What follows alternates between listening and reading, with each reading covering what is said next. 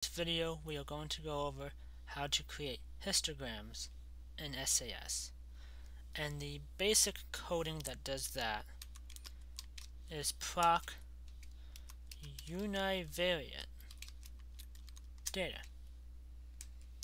And that'll be equal to whatever our data set is. And inside of this we would use histogram of whatever the variable is that we want to plot the histogram of, and then of course run. So for example, using this red data set here that we have preloaded into SAS, why don't we do a histogram of the low lead level group. So based upon what I want to do, this will be proc univariate data is equal to work dot lead and we're going to do a histogram. Low lead level. And then one. So let me just quickly type this inside of SAS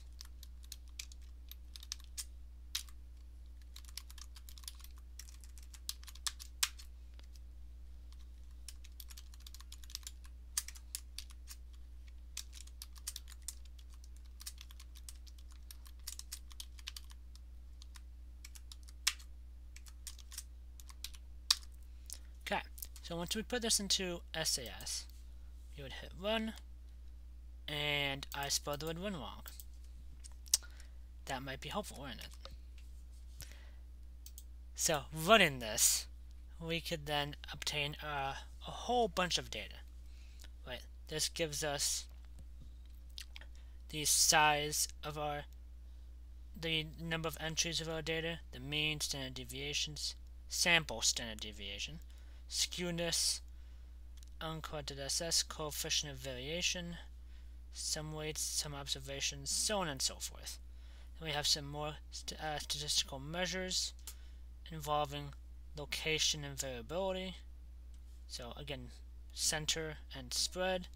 We have a t-test, but we will talk about that later on. The same thing with the sign and sign rank.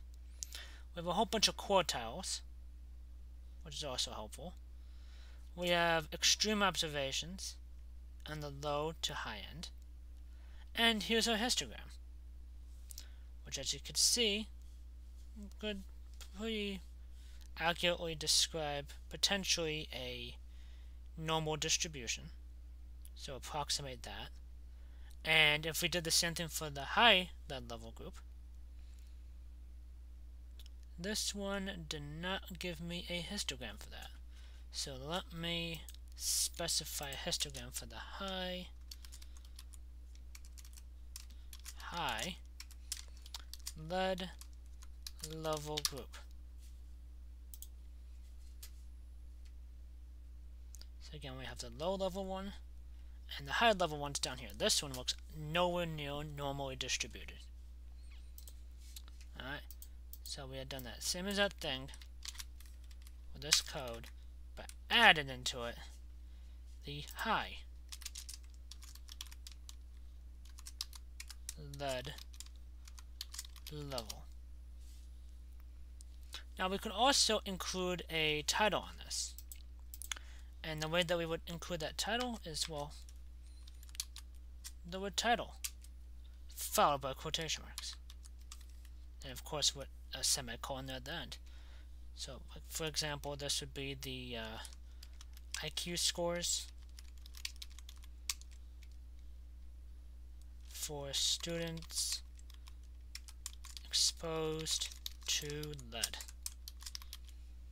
And then again, the same code that we just used to plot both histograms.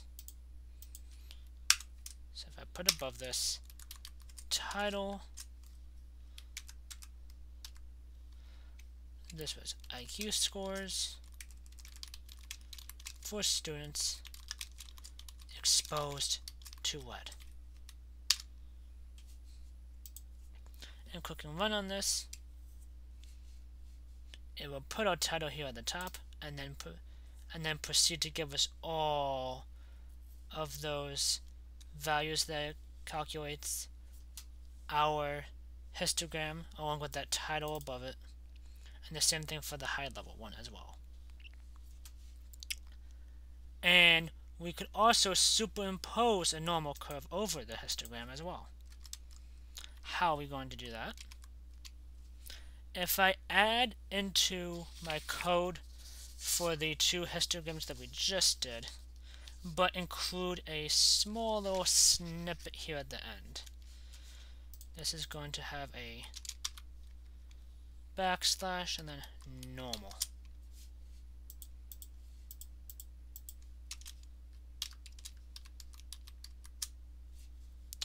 Doing that will then superimpose that normal distribution over our histograms, which could potentially be useful for comparisons. For us to determine, is this normally distributed, which is something like this, right? There, there is some variation, but it looks approximately normal. Uh, for the second one, though, this looks nowhere near normal. Let me know if you have any questions or concerns. Thank you.